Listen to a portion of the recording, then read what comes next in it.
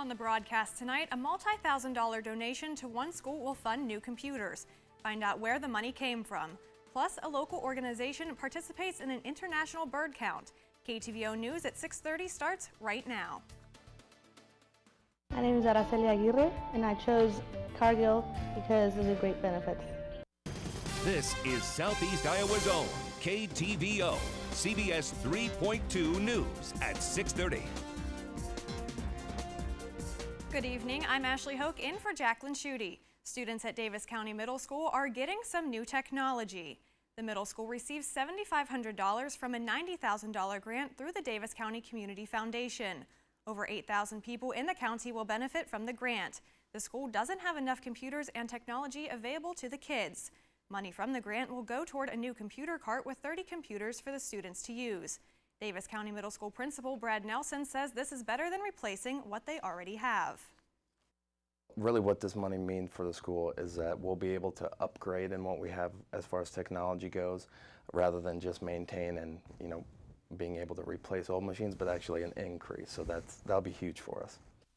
Nelson says the added technology will help give the teachers a boost which in return give the students a boost.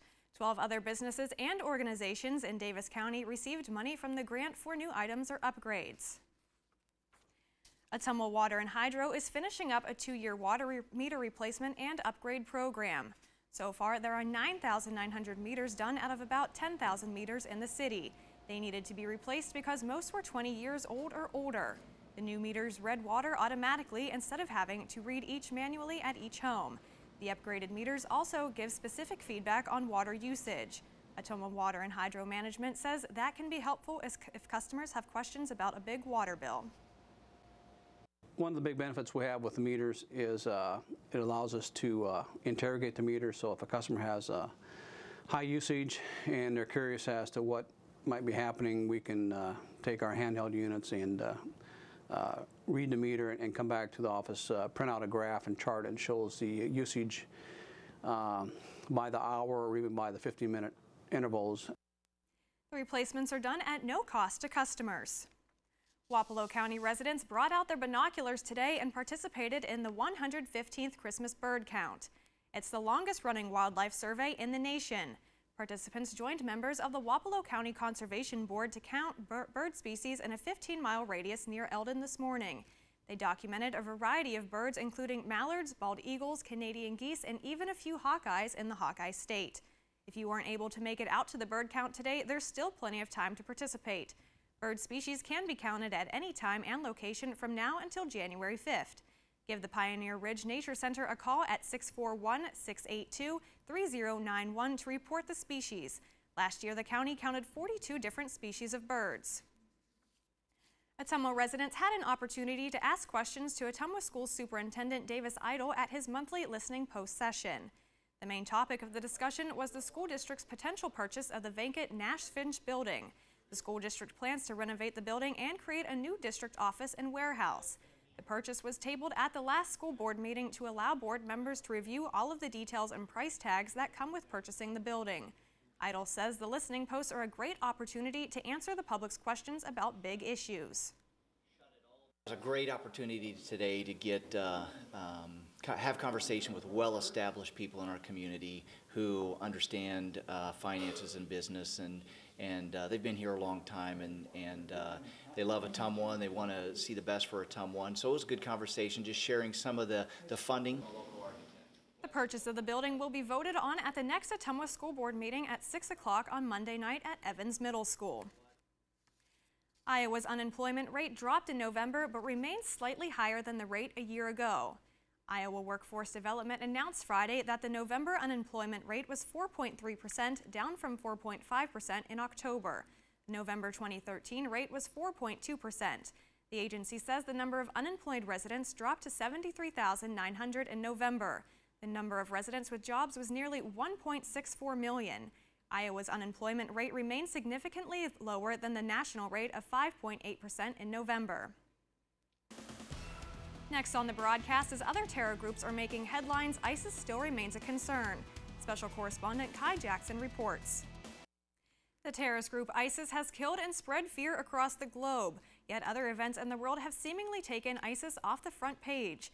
Special correspondent Kai Jackson reports experts say ISIS is propaganda continue to be a threat even though it may have slipped from the headlines. ISIS remains on the radar of those who track terrorist groups. Some experts say ISIS now controls a territory in Iraq and Syria large enough for 4 million people to call home. We track the truth to learn just how much ISIS has grown. In August, it's believed ISIS had some 10 to 20,000 fighters in its ranks, according to published reports. Though groups and their agendas vary, one estimate now puts the number of ISIS and jihadist fighters between 25,000 and 51,000. The Middle East Media Research Institute tracks how terrorist groups utilize media. Every day we see reports of ISIS gaining ground, perhaps overrunning military bases, expanding and consolidating its territory. But we also see reports uh, to the opposite effect of pushback. That language was echoed recently by former Defense Secretary Chuck Hagel, who spoke to a congressional committee. Since I testified before this committee two months ago, our campaign against ISIL has made progress. ISIL's advance in parts of Iraq has stalled. But stalled doesn't mean stopped.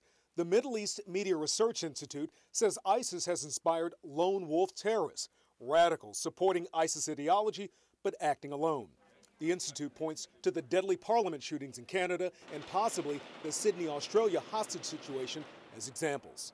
Experts say firearms and explosives aren't the only weapons that ISIS has at its disposal. Equally effective, the group's ability to push propaganda through video and social media.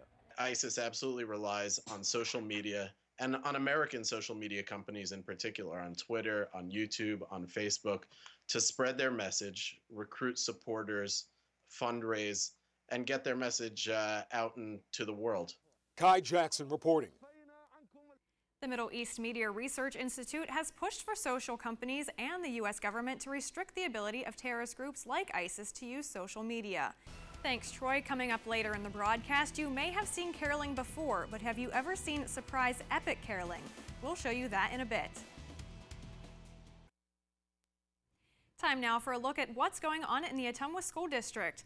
The high school band received a generous donation to help fund their trip to Pearl Harbor in December 2015 from the high school kitchen staff. Instead of exchanging gifts this holiday season, 18 women who feed the district kids started a collection and voted on a school group to give funds to. OHS kitchen manager Becky Stout says they wanted to do something different to help out the students this holiday season.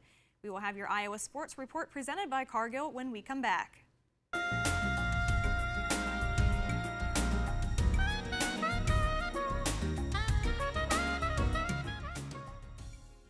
We've got great video of a crazy chase, a naughty bear, and some epic caroling. Stacy Cohen has today's Take a Look at This. Take a look at this. Police in Iowa say a man set his own house on fire, went to a convenience store, and rammed his truck right through the front of the store. Surveillance cameras caught it from several angles, but he wasn't done yet. He then led police on a high speed chase. They caught up to him in the next county. Take a look at this bear who might be on the naughty list. He checks out this stuffed Santa and then knocks him to the ground. California photographer Robert Martinez set up the toy Santa and camera just to see how wild animals would react. You may have had Christmas carolers perform on your lawn, but they probably didn't bring a 20 piece brass band. A family in New Jersey got a holiday surprise on Tuesday. A group called Improv Everywhere surprised five families that night with the moms acting as accomplices. Take a Look at This, I'm Stacy Cohan.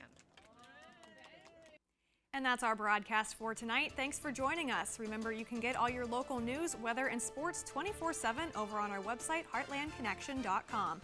Thanks for joining us and have a great night.